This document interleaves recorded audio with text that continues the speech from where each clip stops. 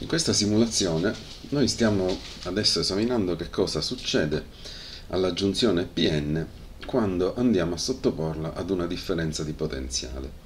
Vediamo qua il simbolo di massa e qua con questo, con questo cursore eh, mettiamo mh, mm, la, la batteria. Vediamo questo valore è il potenziale della batteria.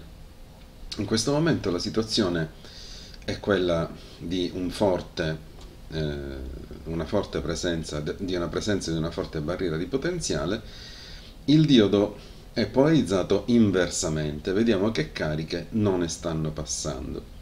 Se noi continuiamo ad aumentare il valore negativo della tensione, cioè in realtà la stiamo diminuendo, però in valore assoluto l'aumentiamo, vediamo che la, mm, la barriera di potenziale si sta continuando ad alzare, non notiamo alcun flusso di elettroni né di lacune, non abbiamo alcuna corrente elettrica.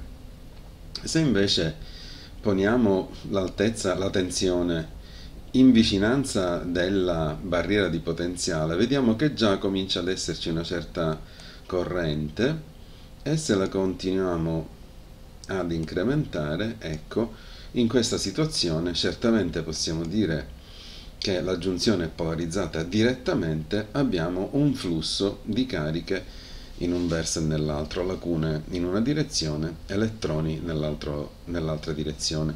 Quindi in questa eh, posizione quello che noi stiamo vedendo in questo momento è la polarizzazione diretta del diodo.